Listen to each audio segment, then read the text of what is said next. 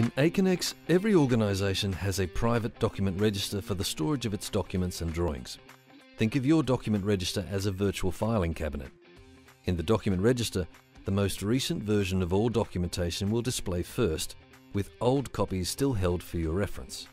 This helps you avoid wasted time and effort on outdated revisions.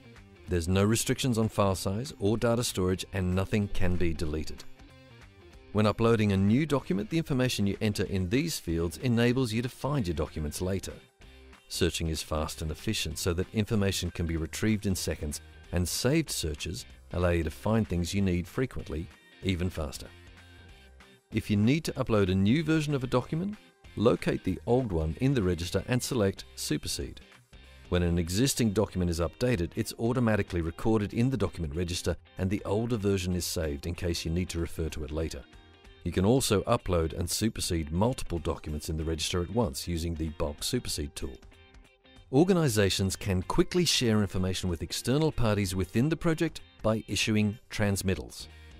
A document transmittal ensures this updated document is added to the other organization's document register.